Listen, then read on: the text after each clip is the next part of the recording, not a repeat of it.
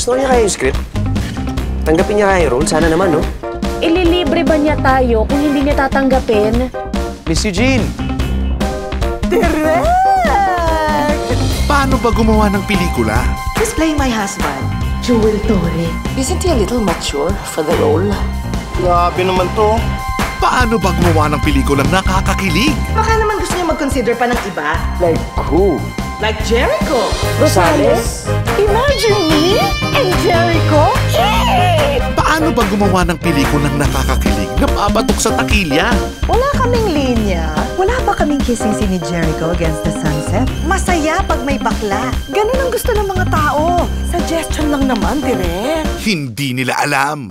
Hindi ito ganong klaseng pelikula.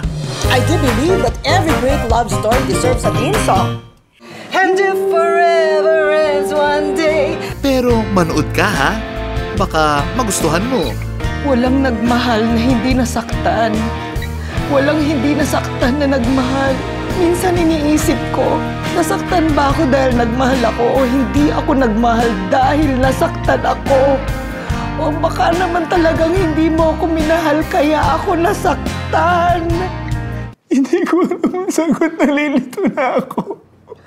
Ako din, Cesar! Jericho Rosales, Kian Cipriano, Kai Cortez, Kalin Ramos with Joel Torre, and Eugene Domingo as Eugene Domingo as Romina. Eugene Domingo Awake. Ang babae sa Septic Tank 2, Forever is not enough. May I speak with Miss June Rufino, please, my manager? Can you get me out of this movie? Written by Chris Martinez, directed by Marlon Rivera. It's just a suggestion, Direct. Just an actress. December 25 in cinemas. An official entry to the 42nd Metro Manila Film Festival.